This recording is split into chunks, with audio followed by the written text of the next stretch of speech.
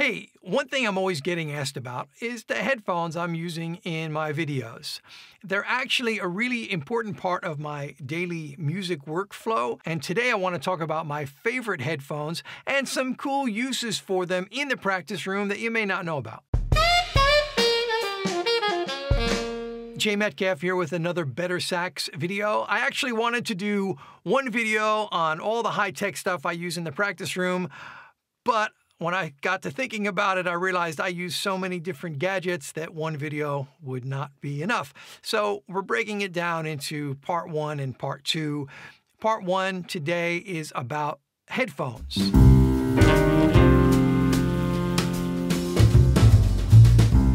So the pair of headphones I use the most are these. They're uh, Bose, they're called uh, Sound Sport and they're Bluetooth headphones. I use them all the time. Why, you may ask? Remember in the last video about low-tech practice room gear, I talked about the custom fit earplugs that I use to protect my hearing. Well, these, these guys do the same thing. They actually fill up your ears so well, they block out the outside noise, which is very effective at protecting your ears from too much loud saxophone playing over time.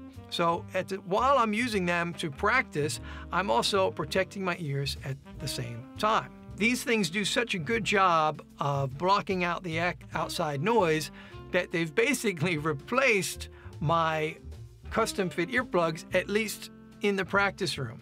They cost $149 on Amazon. I'll put a link in the description below.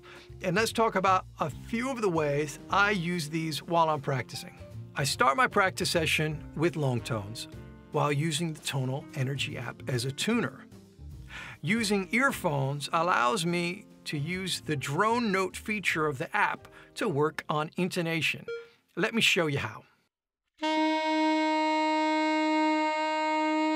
If you've been working with any visual tuner, you may have noticed that when you are making adjustments to get in tune, you will tend to overcompensate. So if you see that you're sharp, you're going to adjust, and the result is you'll probably go flat and vice versa.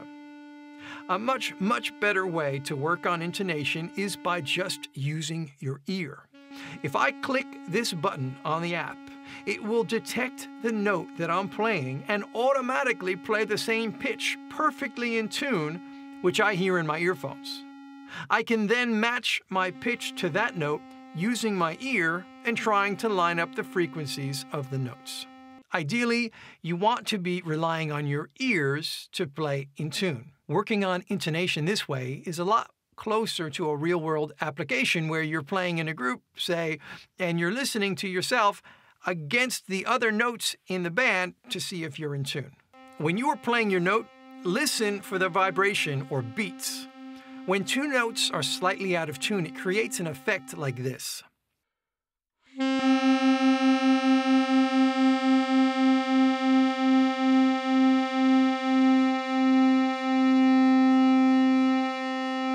Listen for that beating sound and adjust your pitch until the frequencies of the two notes line up and stabilize. This takes a little bit of practice, but it's not difficult to do. Now, I can do this same exact thing without earphones, but it doesn't work quite as well for me. I'm always using the metronome when practicing. These earphones allow me to hear the click very clearly in my ears.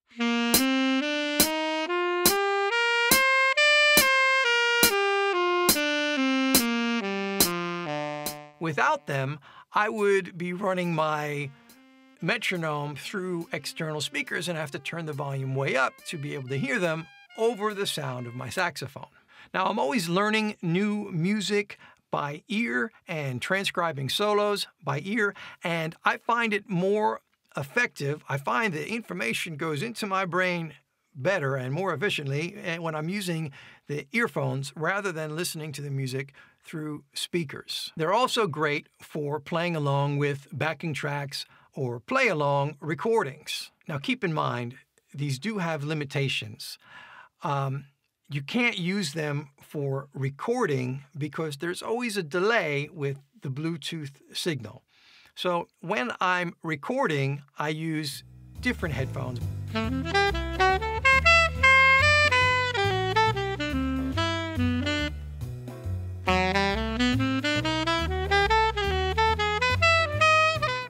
So these earphones allow me to do all those things while at the same time protecting my hearing during the long practice sessions. Now, you don't need Bluetooth headphones to do this. Any normal headphones will work fine.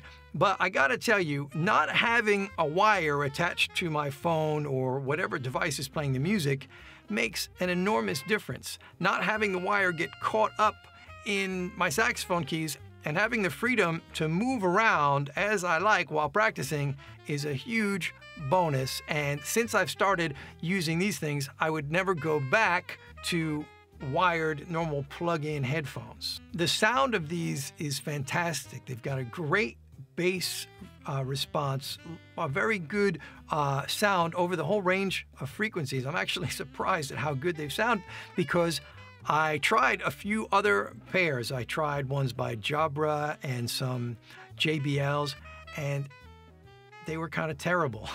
Uh, then I got these. I've always been a fan of Bose. I used to have their uh, noise canceling, the over the ear noise canceling ones, and the in ear noise canceling, which I used for years.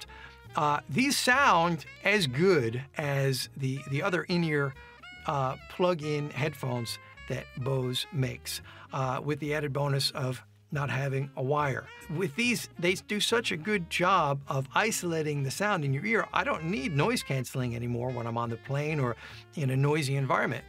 These things do almost as good of a job as the noise canceling.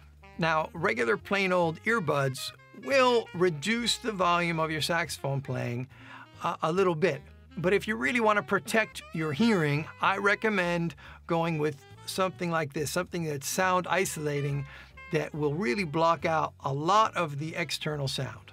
When I'm recording, I use different headphones. I, um, I like these Shure in-ear monitors. Uh, they're a pain to get in your ear, though, I have to say. Uh, I also would say, surprisingly, they don't sound as good to me as the Bose. They don't have nearly as much bass. And although these do a very good job of isolating sound, they don't isolate the sound as much as the Bose. Uh, these Shure ones cost uh, about $100 on Amazon. Uh, there'll be a link in the description below. What's nice about these is that they've got an extra long cable. So if you're recording or, or using them with a musical instrument at the same time, you get a little extra distance. And what makes them different from just a regular pair of earbuds. They don't have that microphone built in. And when you're recording, you don't want one of those built-in microphones uh, because it can interfere with the recording process. The, your device is always not sure which microphone to use. So it's, it's good to have a pair of, of earbuds or a pair of in-ear monitors like this that doesn't have an attached microphone. Now, my favorite set of headphones, the ones that sound the best, are these ones by Sony. These are the MDR 7506, says professional headphones. They're super comfortable.